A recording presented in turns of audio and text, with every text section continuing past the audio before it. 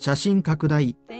東海ラジオの制作で、日本放送ショーアップナイターでも放送された30日の中日巨人戦で解説を務めた山崎武氏がセ・リーグの優勝争いについて言及した。